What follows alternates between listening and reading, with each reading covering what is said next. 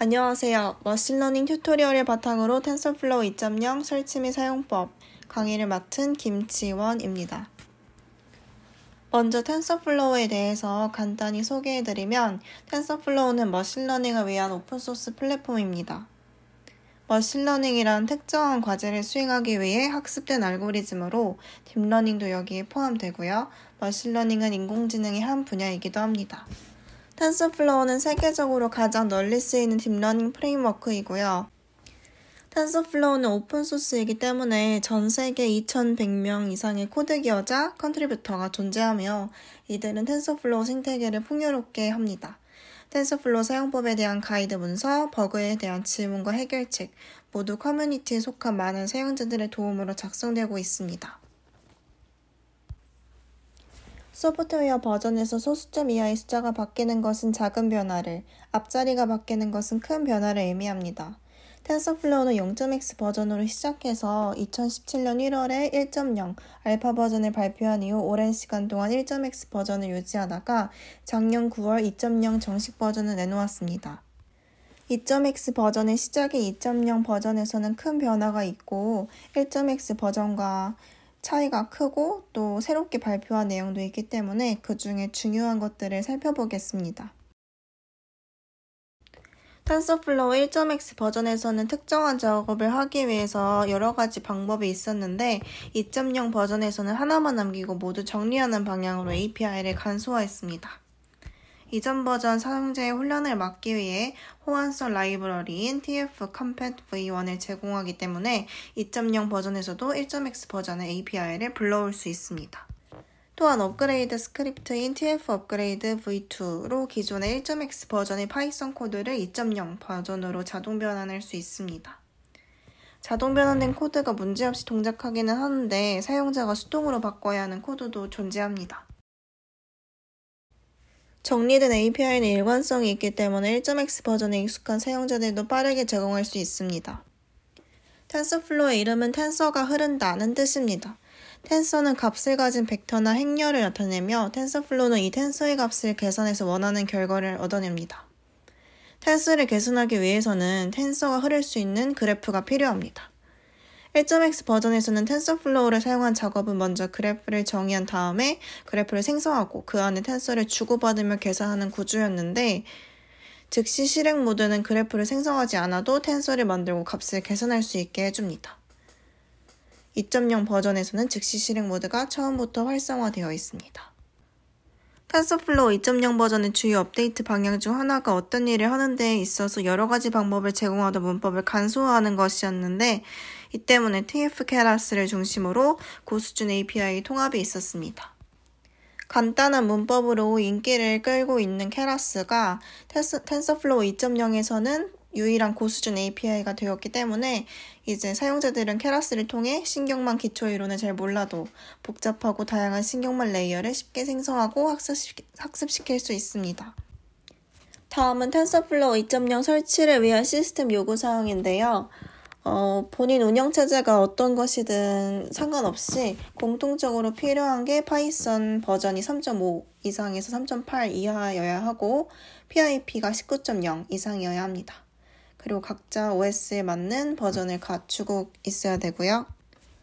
또 Anaconda나 PyCharm 같은 Python 환경을 이미 갖추고 계신 분들은 거기서 하셔도 되는데 홈페이지에 보면은 가상 환경에서 어, TensorFlow를 설치하는 걸 권장하고 있어요. 그래서 저희는 가상 환경을 만들어서 거기다가 TensorFlow를 설치할 거고요. 또 이제 데이터 시각화가 딥러닝이나 머신러닝을 하는 데 있어서 좀 중요하기도 하고 직관적으로 파악이 가능하기 때문에 Jupyter도 같이 함께 설치할 예정입니다.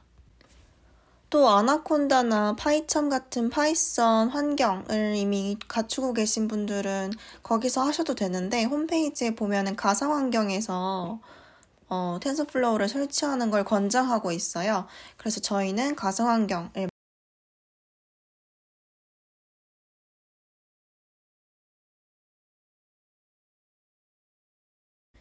자, 이제 설치를 해볼게요. 먼저 터미널을 열어가지고 TensorFlow를 설치를 어디다 할지 한번 볼게요. 저는 아마도 데스크톱. 다음에 구글에 TensorFlow를 검색하면 공식 홈페이지가 나오고 설치를 눌러주세요. 상단의 설치 탭을 눌러주시면 Flow 2 설치 방법이 나오고 64비트 시스템에서 요구 사항을 보면 돌아가서 파이썬 3.5 이상 에서 3.8 이하이니까 파이썬 버전을 확인해 볼게요.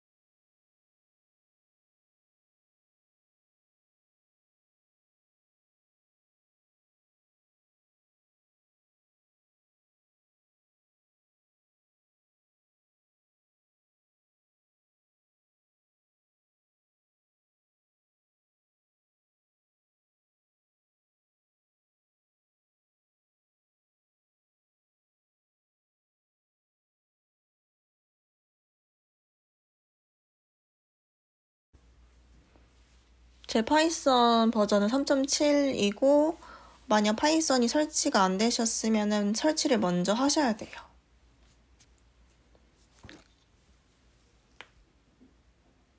그리고 이제 Python의 PIP 패키지 관리자로 필요한 걸 설치를 할 건데 시스템 요구 사항 보면 PIP가 19.0 이상이어야 되거든요. 그리고 Python 개발 환경.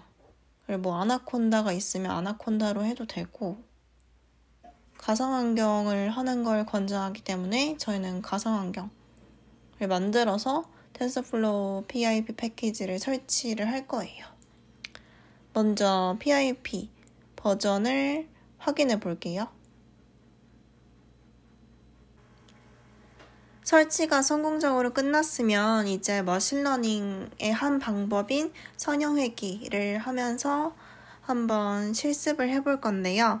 선형회귀는 데이터의 경향성을 가장 잘 설명하는 하나의 직선을 예측하는 것으로 주로 2차원에서 직선의 기울기와 그 y절편을 가지고 좌표 평면이 점들에 대해 그 가장 가까운 가장 그이 데이터의 점들과 그 거리 차이의 차이 딥러닝은 머신러닝의 하위 분야인데요. 아까 선형회귀가 머신러닝이라면 딥러닝은 이제 인공신경망이라는 어떤 계층화된 알고리즘 구조를 사용을 해요. 요 인공신경망은 인간의 그 두뇌에 그 있는 생물학적 신경망에서 영감을 얻어서 만들어진 그 학습 모델인데 이 딥러닝 모델이 굉장히 성능이 좋기 때문에 요즘에는 다 딥러닝을 하죠.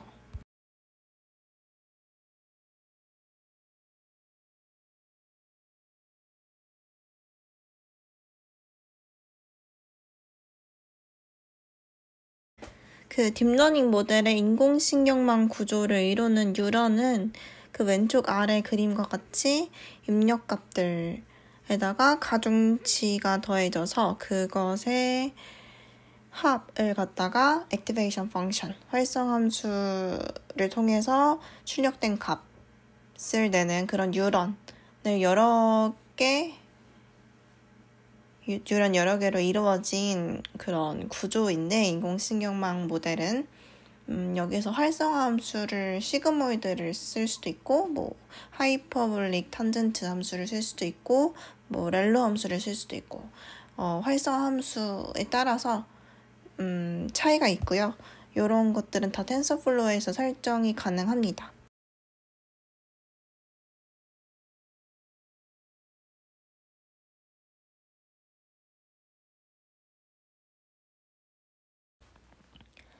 선형회귀는 이미 정해져 있는 그런 공식에 맞춰져 있는 것이기 때문에 아무래도 그 뉴런을 여러 개 쌓아가지고 그 여러 그 layer를 쌓아가지고 만든 딥러닝 모델로 학습시켰을 때보다는 당연히 정확도가 떨어 Jupyter로 들어와서 일단 미리 코드를 가져왔고요. Matplot 라이브러리는 데이터 시각화를 위한 라이브러리고요. run 실행을 하면은 이렇게 데이터가 보여집니다. X축은 인구 증가율, Y축은 고령화 인구 비율입니다.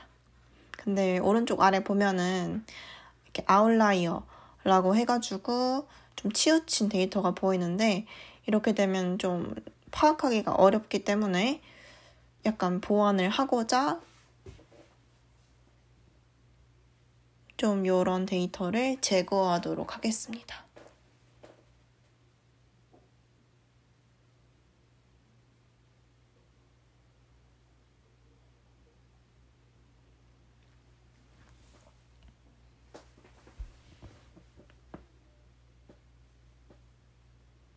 네, 그러면 이제 좀 outlier가 제거된 그래프 그래프의 그 데이터들이 나타나고요.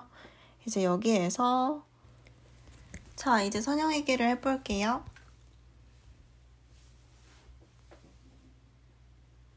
먼저 음, NumPy라는 수학과 과학 계산에 특화된 모듈을 import했고요.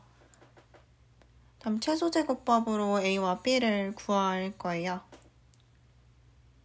요거는 공식이기 때문에 그냥 식 써주듯이 Python 프로그래밍을 하면 됩니다. 그래서 a랑 b 값을 구해서 한번 찍어 볼 거고 프린트 해볼 거고 또 그래프를 그리려면 회귀선의 x와 y 데이터를 구해야 되니까 음, np arrange라는 함수를 사용할 거고 run 하면 이렇게 붉은색 실선으로 회계선을 그리고요. 정확하다고 보기는 힘들죠.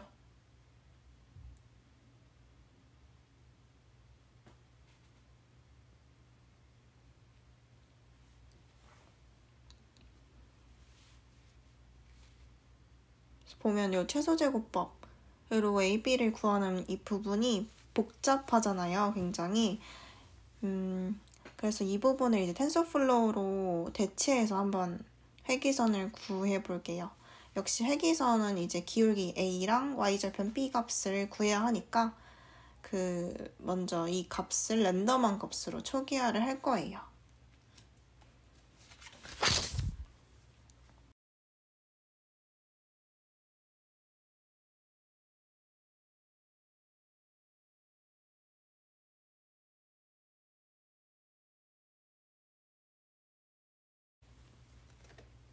그리고 이제 잔차의 제곱의 평균을 구하는 함수를 따로 정의할 의 건데 함수 이름은 compute underbar loss로 하겠습니다. 손실 값을 그러니까 손실 여기에서 손실은 잔차를 의미하는 건데 그 직선과 데이터 각 데이터의 그 떨어진 정도 즉 손실을 최소화하는 그런 함수예요. 그래서 이 함수도 TensorFlow에서 제공하는 reduce underbar mean 함수를 통해서 얻을 수 있어요.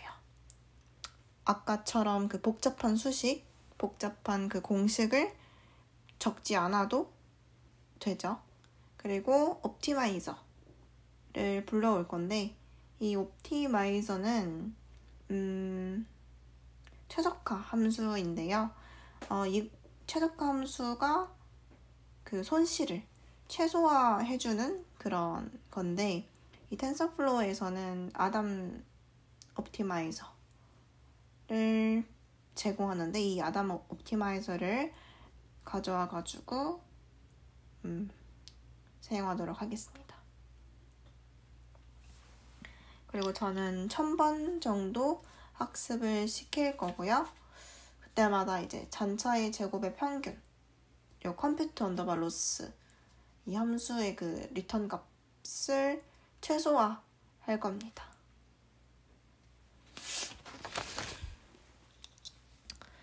그리고 이제 천번 동안 학습을 시키는 동안에 음, 한 번 100번마다 100번째마다 한 번 찍어 볼게요. A랑 B의 값이 어떻게 변하는지. 그리고 그 로스, 손실값도 한번 프린트 해보도록 하겠습니다. 학습이 거듭되면서 점점 좀 그 직선이 그럴듯하게 그려지겠죠? 그럴 거라고 예상이 됩니다. 자, run을 하기 앞서 이렇게 퍼센트도 한번 넣어줄게요. 그리고 run 실행을 하면 틀렸네요. 음, 는이 빠졌고 네, 다시 run 하면 또 tf가 임포트가 안 됐네요. 네, tf TensorFlow 임포트를 꼭 해주시고요. 다시 run 하면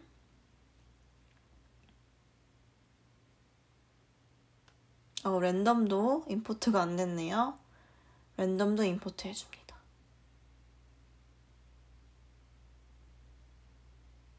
네, 이제 네, 되네요. 네. 그래서 지금 어, 학습을 토대로 만들어진 회귀선이 그려졌고 그 100번째마다 A와 B와 그 loss 손실값 프린트 되었고요. 다시 compute underbar loss 함수를 보면은 여기 reduce mean 요 함수가 그 아까 그 복잡한 수식을 대신하는 그런 부분이고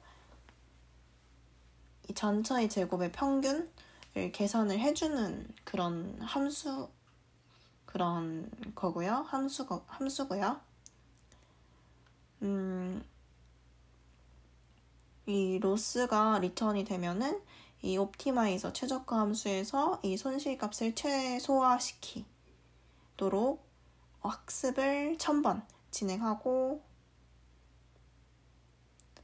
이렇게 학습이 진행이 잘 돼서 회계선이 그려집니다. 잘 그려집니다. 아까랑 거의 흡사한 직접 복잡한 수식을 적어서 학습을 시킨 것이랑 별다른 차이가 크게 있는 건 아닌데 이제 차이가 있다면 음, TensorFlow가 좀 복잡한 계산을 편리하게 실행할 수 있다는 점이 있고요. 그 다음에 이제 아까 같이 공식이 있으면은 그 결과가 딱 하나밖에 안 나오지만 이 TensorFlow는 난수를 통해서 초기화를 하기 때문에 그 거의 차이는 없겠지만 그래도 이 직선의 그 a, b 값이 조금씩은 달라질 수 있을 겁니다. 자, 이번엔 딥러닝 네트워크를 이용한 회귀를 한번 해보도록 하겠습니다. 데이터는 그대로 똑같이 가져오고 TensorFlow import 해주고 계산이 좀 필요해서 NumPy도 import 해줍니다.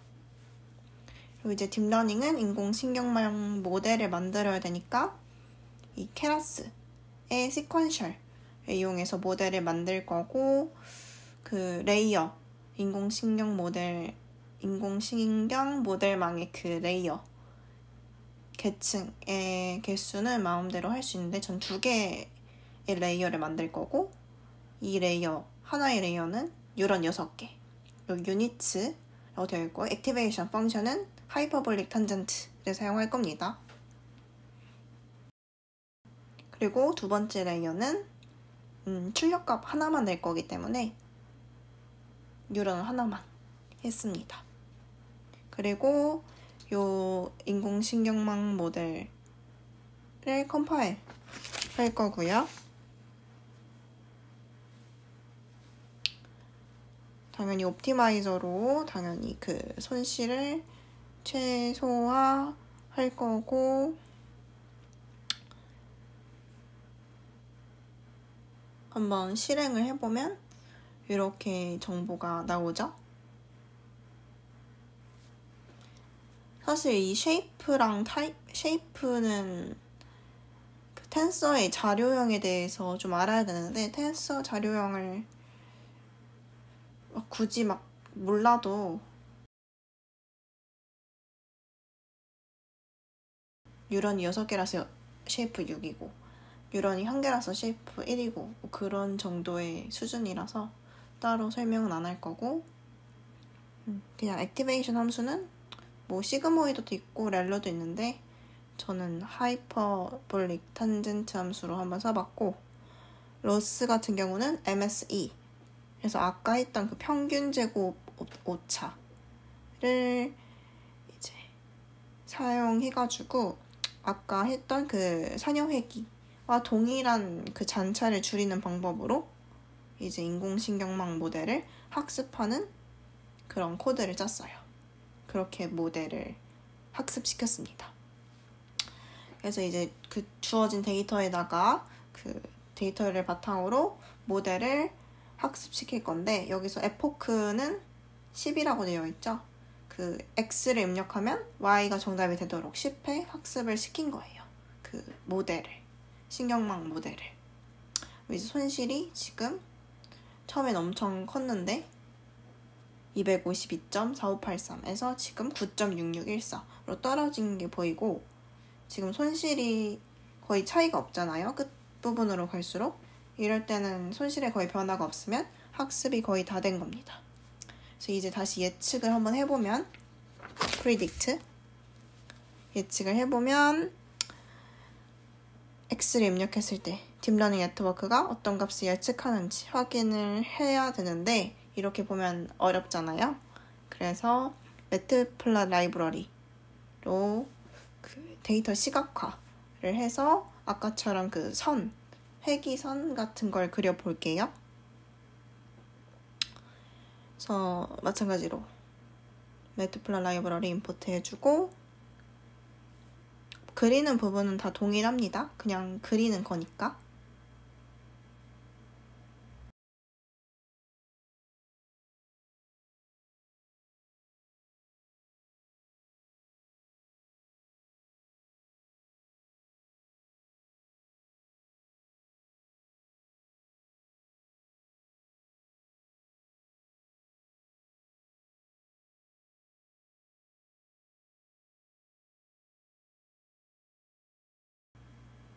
근데 다 쓰기 너무 힘드니까 복사해서 붙여넣기 하겠습니다.